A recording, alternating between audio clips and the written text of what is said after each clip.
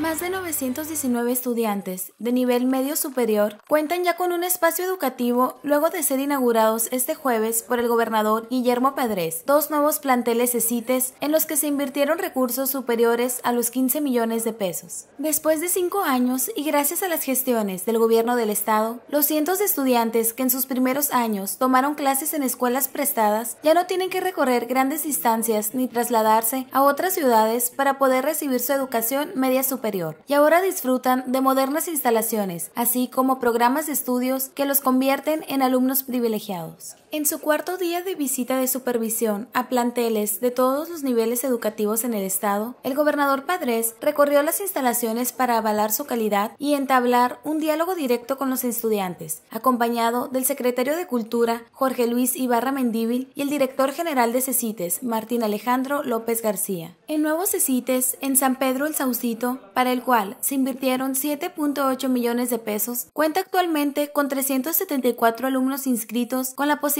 de aumentar hasta 400 estudiantes, mientras que el plantel Pueblitos, con una inversión de 7.5 millones de pesos, brinda educación a 545 alumnos inscritos y cuenta con capacidad para atender hasta 590 jóvenes. Al recorrer las diferentes áreas de los dos nuevos planteles de CECITES inaugurados, el mandatario estatal sostuvo un diálogo con maestros y estudiantes, quienes le agradecieron por estas nuevas obras realizadas dentro del programa de la transformación educativa. En respuesta a las peticiones de los estudiantes, el gobernador Padres dijo que gracias a las gestiones con el titular de la SEC, Jorge Luis Ibarra Mendíbil, y el director general de CECITES, Martín Alejandro López García, ya se está viendo la posibilidad de dotarlos con los dos camiones escolares y las áreas deportivas. Invitó además a los alumnos de ambos planteles a echarle ganas a los estudios, aprovechar sus nuevos espacios educativos y cuidarlas, ya que escuelas con esas características no se tenían en décadas anteriores. Asistieron además a la inauguración de los dos nuevos planteles de CECITES,